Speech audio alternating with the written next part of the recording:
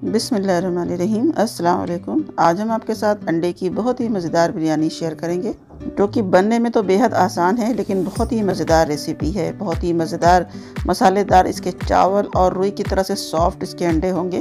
जबकि बिरयानी बनाने में अंडे अक्सर हार्ड हो जाते हैं, जो खाने में बिल्कुल भी अच्छे नहीं लगते हैं। तो आइए देख लेते हैं इस बहुत ही मज़ेदार और परफेक्ट अंडा बिरयानी के राज और बनाना शुरू करते हैं। वीडियो पसंद आए तो एक लाइक ज़रूर कर दें। फैमिली और फ्रेंड में आप इसे शेयर भी कर सकते हैं। चैनल पर पहली बार आए तो चैनल को सब्सक्राइब भी ज़रूर कर लें, ताकि आने वाली रेसिपीज़ की अपडेट आपको टाइम पर मिलती रहे। तो इसे बनाने के लिए सबसे पहले हमने अंडों को बॉईल करने के लिए रख देना है। तो यहाँ पे हमने सात अंडे लिए हैं एक पैन में। एक किलो चावल हमने लिए हैं और सात अंडे लिए हैं। आप अपनी फैमिली के हिसाब से, अपने घर की ज़रूरत के हिसाब से अंडे कम या ज़्यादा कर सकते हैं। अब इसमें हमने इतना पानी ऐड करना है कि अंडे अच्छी तरह से डीप हो जाएँ। उसके बाद इसमें हमने वन टीस्पून नमक ऐड कर देना है। मीडियम हीट पर जब इसमें एक अच्छा सा बॉयल आ जाए, उसके बाद हमने इसे सिर्फ़ पाँच मिनट पकाना है। और पाँच मिनट के बाद हीट बंद कर देंगे और दस मिनट इसे ढका हुआ यूँ ही छोड़ देंगे।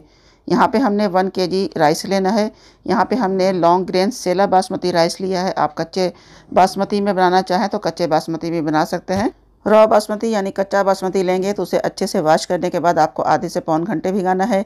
ये सेला बासमती राइस है तो इसे हमने तकरीबन डेढ़ से दो घंटे भिगाना है। पहले तीन से चार पानी अच्छे से वॉश कर देना है। तो पाँच मिनट अंडों को बॉईल किया, दस मिनट हमने गर्म पानी में ढका हुआ रख दिया। अब दो पानी हमने इसका बदल दिया ठंडे पानी से और अब इसे हम छील लेते हैं। तो अंडों को इस टिप्स के साथ आप उबालिएगा, आपके अंडे पूरे साबुत रहेंगे, टूटेंगे नहीं और बहुत ही आसानी से इसके छिलके अलग हो जाएँगे। और छिले हुए अंडों को यहाँ पे टूथपिक या फिर फॉक के हेल्प से इस तरह से छोटे छोटे से सुराख कर लेने हैं ताकि जब हम फ्राई करें तो ये छिटके नहीं, फूटे नहीं। और 200 हंड्रेड के करीब यहाँ पे हमने कुकिंग ऑयल अच्छे से गर्म कर लिया है। अंडों को इसमें ऑयल में ऐड करेंगे। हीट को यहाँ पे हाई टू मीडियम रखेंगे, यानी तेज़ आँच पे अंडों को चारों तरफ़ से गोल्डन कलर का हो जाने तक फ्राई करेंगे। हीट को लो नहीं करना है, वरना धीरे धीरे फ्राई होकर अंडे हार्ड हो जाते हैं। तो यहाँ पे इस तरह के देखिए लाइट गोल्डन कलर के अंडे फ्राई हो गए हैं तो इन अंडों को हमने ऑयल से सेपरेट कर लेना है। और अब इसी ऑयल में हमने प्याजों को फ्राई करना है। यहाँ पे हमने छः मीडियम साइज़ की प्याज को बारीक स्लाइस काटा है।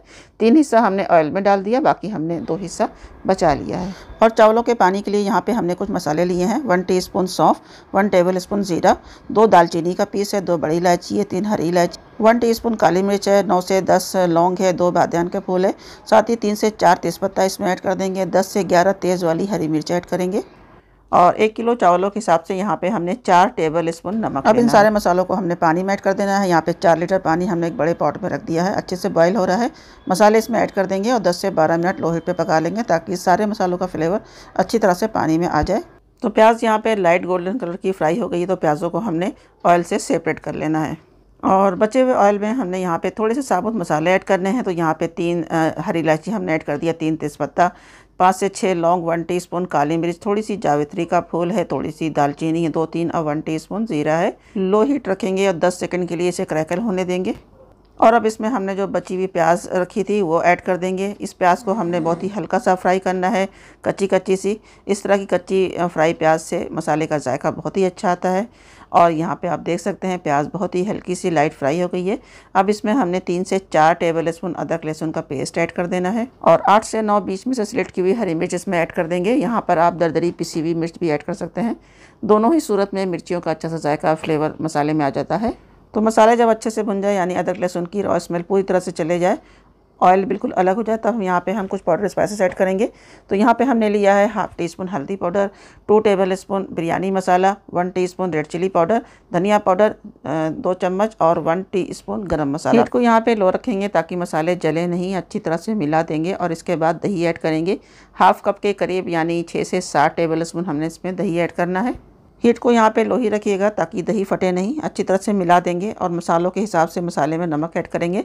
तकरीबन वन टीस्पून से थोड़ा ज़्यादा हमने इसमें नमक ऐड कर दिया, मिला देंगे अच्छी तरह से। और अब इसमें हम फ्राई की हुई प्याज ऐड कर देंगे तकरीबन आधी।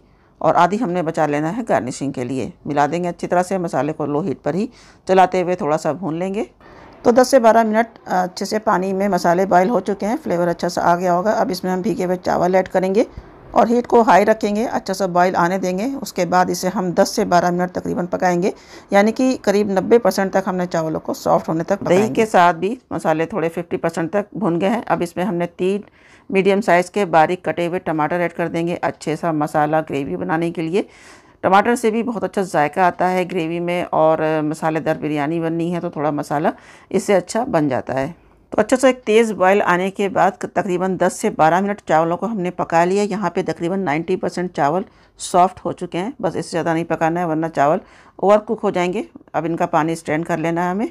तो बीच बीच में एक से दो बार चलाते हुए टमाटर के गल जाने तक ग्रेवी को हमने पका लिया है। मसाला अभी तैयार है। इसमें वन टीस्पून ऐड कर देंगे केवड़ा वाटर। इस तरह का हल्का लिक्विड ही होना चाहिए ताकि मसाले चावल में अच्छी तरह से मिक्स हो जाए और चावल के एक एक दानों में अच्छा सा मसाले का जायका फ्लेवर आए। थोड़ी सी हरी धनिया मिलाएँगे बस तैयार है हमारा मसाला। और अब बिरयानी पॉट लेंगे और इसमें चावलों और मसालों की लेयर लगाएँगे। चावलों की एक आइडिया से आपने तीन हिस्से कर लेना है, एक हिस्सा नीचे डाल देना है। इसके ऊपर हमने तकरीबन आधे से थोड़ा कम मसाला फैला देना है। और मसालों के ऊपर फ्राई की हुई प्याज और थोड़ी सी पुदीने की पत्तियाँ थोड़ी सी हरी धनिया पत्तियाँ स्प्रिंकल करेंगे। और अब इसके ऊपर फिर से चावल ऐड करेंगे। तो बचे हुए जो चावल थे, उसमें से आधे चावल हमने डालने हैं, आधे बचा लेने हैं। अब इस पर भी हमने सेम प्रोसेस के साथ मसाला, धनिया, पुदीना और प्याज की लेयर डाली। उसके बाद बचे हुए चावल की लेयर हमने इस पर डाल दी। और अब लास्ट में भी हमने थोड़ी सी पुदीने की पत्तियाँ, धनिया की पत्तियाँ ऐड की और फ्लेवर के लिए यहाँ पे हमने बिरयानी एसेंस लिया है। बिरयानी एसेंस का आप यूज़ करेंगे तो आपकी बिरयानी में ऐसा फ्लेवर आएगा कि लोग कहेंगे कि आपने इसे बाज़ार से मंगवाया है। और इसमें हमने quarter teaspoon orange food colour लिया है। क्वार्टर कप इसमें हमने दूध तकरीबन ऐड किया पाँच से छः टेबल स्पून अच्छी तरह से मिला लेना है। और वन टेबल स्पून के करीब हम इसमें केवड़ा वाटर भी ऐड कर देंगे और अच्छी तरह से घोल के चावलों के ऊपर से फैला के डालेंगे। इस तरह से आप देख सकते हैं, इस तरह से फैलाते हुए डाल दें। और बची हुई फ्राई प्याज इस तरह से फैलाते हुए ऊपर स्प्रिंकल करते हुए डाल देनी है।